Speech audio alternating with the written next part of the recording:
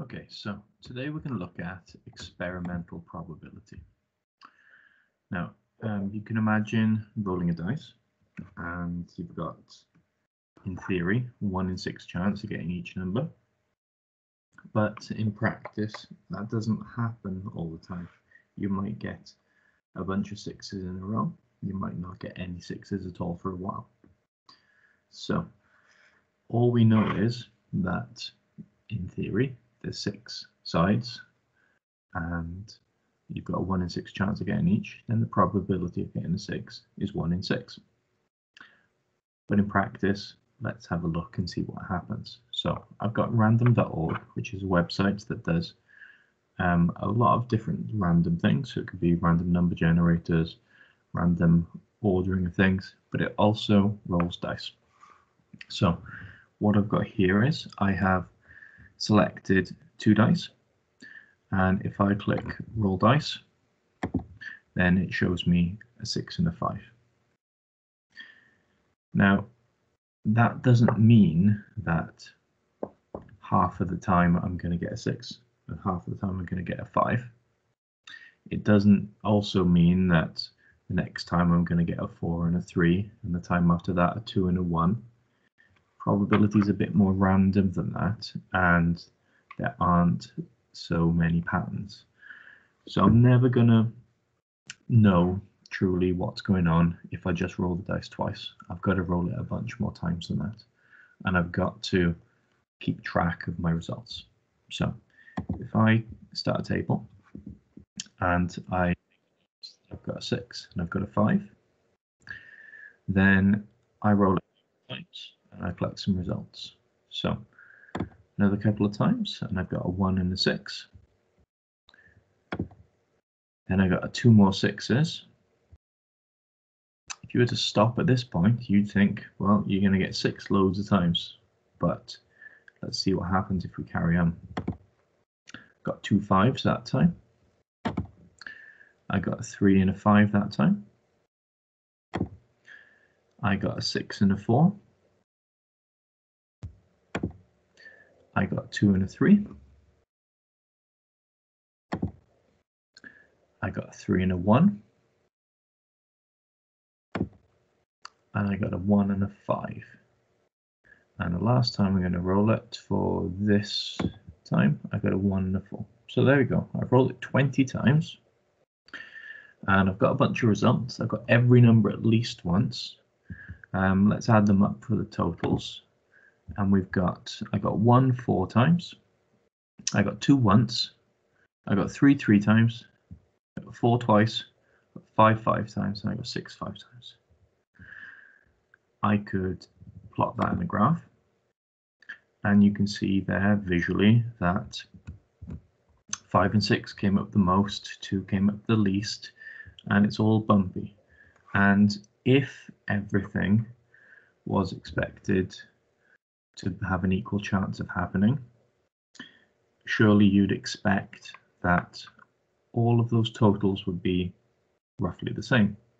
All of those bars in the bar chart would be roughly the same height. But unfortunately, it doesn't work exactly like that after only rolling it 20 times. I'm going to have to roll it a few more times and make a note of a few more results to if I want to try to get a better understanding of this because 20 times, even though it might seem like a lot, you can see from the results it's not actually a lot. So um, if I change the option from rolling two dice to rolling 40 dice, and I keep my other results. So I'm going to add on to my other results rather than starting again. So 40 dice there they are. I can add them all into the tally. And then let's get another 40 dice and add them into the tally. And now that makes 100 dice because I rolled them 20 times to begin with, uh, two at a time, and then a couple more 40s makes 100 dice in total. So let's total them up and let's draw a graph. And you can see now that um, it's still a bit bumpy, but there's not the extreme that there was before. Let's compare it to the one before. You can see much more extremes on the rolling 20 dice graph. You can see that 2 is really low compared to how high the 5 and the 6 are. But now the gap between the lowest and the highest isn't as much. It's still bumpy. You're going to have to do it a few hundred more times if you want it to start evening out and it'll start evening out for a couple of reasons. Um, the reason one is the more times you do things, the closer you get to actual uh, theoretical probability. Because if you if you do it just six times, it's foolish to assume you're going to get each number once each. But if you do it 6,000 times, it's more appropriate to expect you'll get around a thousand times each. And the other reason is the scale on the graph. The scale on the left goes up to 6 and the scale on the right goes up to 20. So even though the difference between the smallest and the highest amount is the same, so on the left, the smallest and highest amount for the bars, the gap between them is 4, and the smallest and highest amount on the right, the gap between them is 4.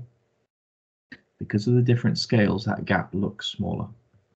So if you did it a few thousand times, you might get a gap of 15 or 20, but that gap would look tiny because of the scale we used.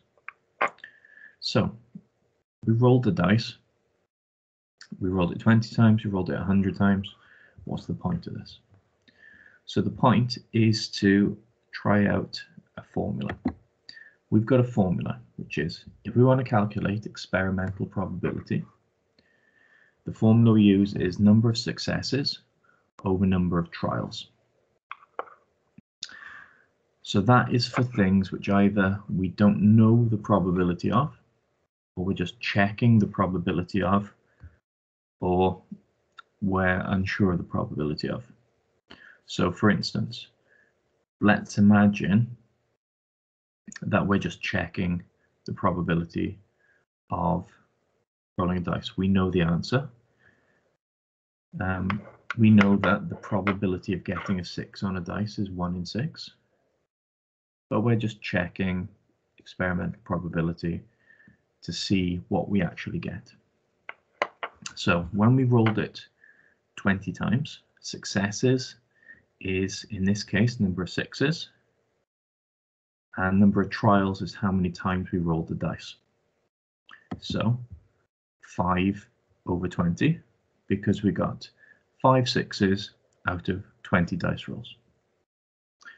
And on the right, we got 20 out of 100, 26s out of 100 dice rolls. And what we know to be true theoretical probability is 1 out of 6. Now those numbers are pretty difficult to compare because they're all different denominators. So if I turn them all into decimals, they're going to be easier to, prepare, to compare. So 5 over 20 is 0 0.25, 20 over 100 is 0 0.20, and 1 over 6 is 0.17. So we can see the true theoretical probability is 0.17. When we only did it 20 times, we were a little bit off. It was an overestimate. But when we did it 100 times, we're getting closer. And you can imagine if we did it a thousand times, we'd be closer again. 10,000 times, closer again. So the things I want you to take away from this lesson are that this is the formula for experimental probability and how it works. And that the more times you do something, the more accurate your results will be. Okay, so your actual work for today. What I'd like you to do is I would like you to do a tally and a graph for rolling dice. If you've got dice at home or a Monopoly set or something, you can use them. Or you can use the random dice roller, which I will put a link to in the assignment. And I'm not going to put a restriction on how many dice you should roll because I'd like this to be completed today. I'm using up about 10 minutes showing you this video. And so if you've only got time for 20 dice, then do 20 dice. If you've got time for 100 or 200 or whatever, then do that as well.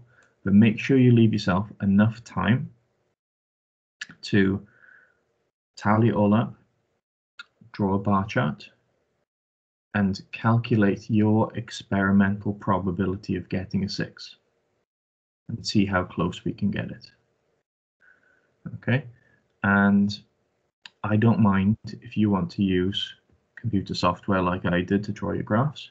It can be done in Excel, but if you're not familiar with that, then I would suggest just doing it by hand.